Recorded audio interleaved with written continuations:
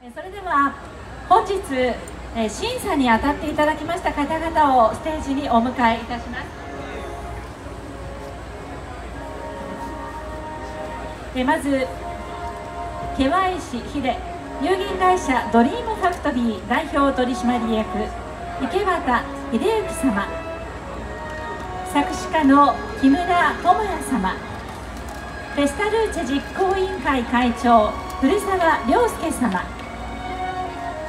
和美ダンススタジオ主催元宝塚歌劇団雪組森尾和美様。フォトグラファーの水康森様。株式会社和歌山新報社代表取締役社長津村修様でございます。今日皆様一日お疲れ様でございました。それでは、え審査員を代表いたしまして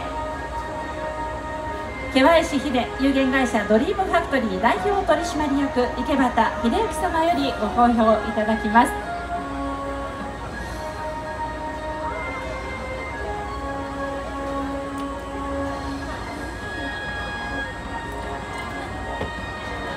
皆さんこんばんは。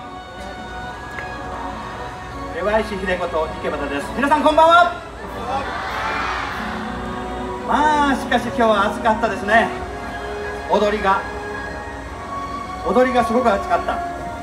僕ですね今回8回目の審査をさせていただきます。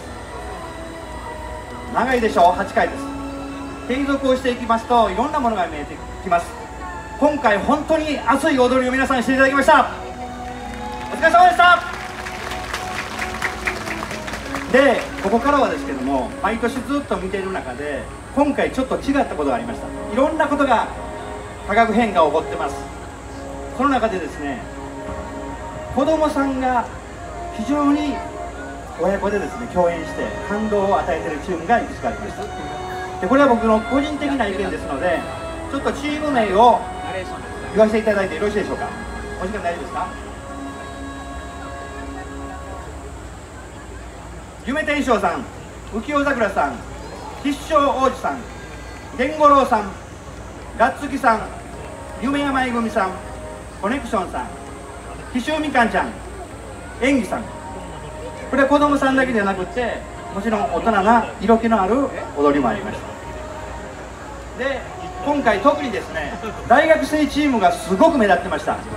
これは毎回そうなんですが審査を対象とされないチームも数多くある中ですごい感動を与えてくれるチームがたくさんありました。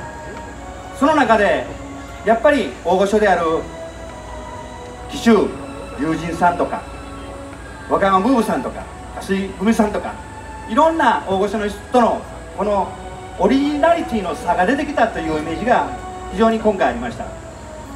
若い人は若くそして大人の人は大人の色気そういう感動がたくさん見られました。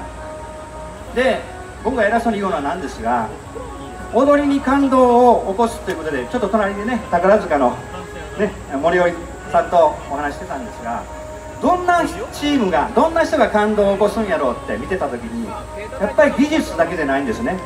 本当に日頃の人生にかけた努力とか汗とか涙そういうのがですね素敵な笑顔に現れてるそんなチームとそんな個人が非常に目立ってました。感動には静いいわゆる止まる静かな感動と動動く感動があります。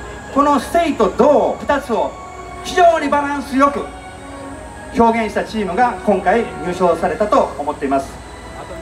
最後になりましたけどもこんな素敵な感動のですね運営を携わっていただきましたボランティアの皆様そして関係各位の皆様そして何よりも今日はこうやって暑い中応援していただいているお客様の皆様そして3400人の踊り子の皆さんお疲れ様でした。来年もよろしくお願いします。ありがとうございました。それではこの後いよいよ発表です。審査員の皆さんどうぞご講談ください。今日一日お疲れ様でございました。